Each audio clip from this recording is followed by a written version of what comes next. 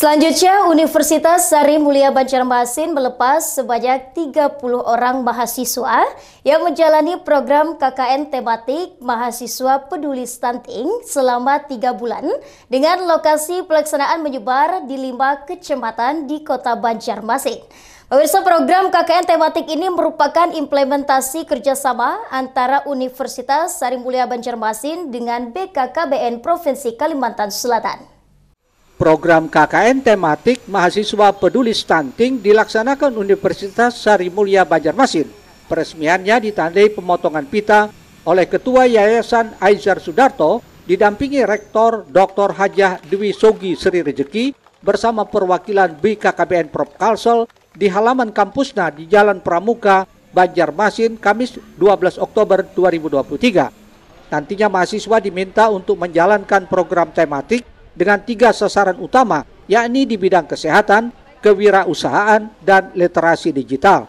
Harapannya mahasiswa dapat mengembangkan kreativitasnya serta memberikan pola perubahan perilaku yang baik kepada masyarakat lewat keilmuan yang dimiliki masing-masing, di samping menjadi sarana untuk bersosialisasi dengan masyarakat.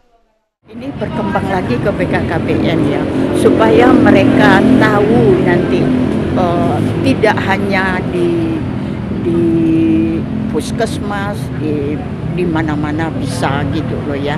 Jadi kita sangat senang sekali baru kali ini ya uh, uh, uh, kerjasamanya dengan dengan BKKB. Uh, nanti mereka akan lebih mandiri lagi mas ya setelah lulus. Jadi uh, selesai nanti mendapat pengalaman yang banyak di di apa namanya di BKKBN nanti akan mendapat uh, dapat dituangkan ke masyarakat gitu. Ya apa yang bisa mereka kerjakan. Jadi kami berharap supaya eh, KKN ini mahasiswa bisa meningkatkan kreativitas, bisa mengaplikasikan ilmu yang kita kasihkan, yang dikuliahkan sehari-hari. Jadi kita harap angka stunting di Banjarmasin itu menurun dan tidak ada sama sekali. Jadi semoga uh, angka stunting di Banjarmasin menurun dan masyarakat di, di Banjarmasin itu sehat, panjang umur dan selalu dilindungi oleh Tuhan Yang Maha Esa. Amin amin ya robbal alamin.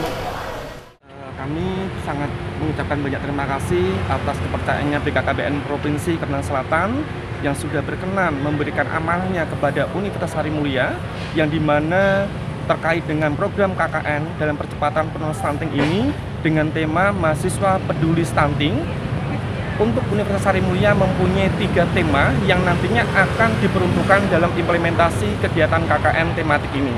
Yang pertama adalah di bidang kesehatan, yang kedua di bidang kewirausahaan, dan yang ketiga adalah literasi digital. Harapan kami dengan tiga program ini menjadikan salah satu keunggulan di dalam pencegahan stunting khususnya di kota Banjarmasin. Terlaksananya program KKN ini merupakan bentuk kerjasama yang dijalin antara Universitas Sari Mulia Banjarmasin dengan BKKBN Provinsi Kalsel sebagai implementasi dari Perpres nomor 72 tahun 2021 dalam upaya percepatan penurunan stunting di daerah. Kami menyambut baik dari Pak Angga dari Universitas Mulia dan juga Ibu Ketua Yayasan serta Ibu Rektor Ibu Dr. Dwi Sogi Universitas Mulia yang sudah berkenan menerima undangan dari uh, pemerintah Republik Indonesia untuk menjadi bagian dalam percepatan penurunan stunting dengan menggerakkan mahasiswa-mahasiswa yang ada di sini. Karena bagi kami menyadari bahwa mahasiswa itu bisa menjadi agen perubahan yang sangat signifikan dalam mempengaruhi atau memberikan uh, pola perubahan perilaku yang baik kepada masyarakat. Sehingga program ini kami harapkan nanti dapat menjadi referensi atau dapat menjadi sarana bagi mahasiswa tidak hanya untuk mendarma bagikan ilmunya sebagai sebagai sarana untuk bersosialisasi dan juga bermasyarakat. Program KKN tematik ini diikuti 30 mahasiswa dari tiga program studi di tiga fakultas di Universitas Sari Mulia Banjarmasin untuk waktu tiga bulan berlokasi di lima kecamatan di kota Banjarmasin. Erwin Yudanwari, Banjar TV.